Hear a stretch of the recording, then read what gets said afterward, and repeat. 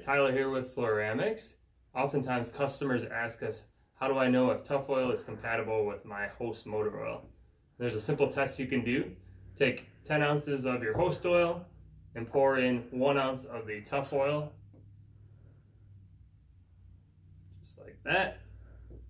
And you'll want to mix it up with the mixer.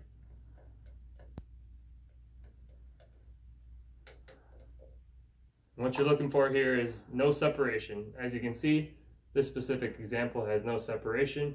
If there is no separation, it means Tufoil is compatible with your host oil. If you have any questions on this, you can contact our customer service team at customerservice at fluoramics.com or give us a call at 507 205 9216.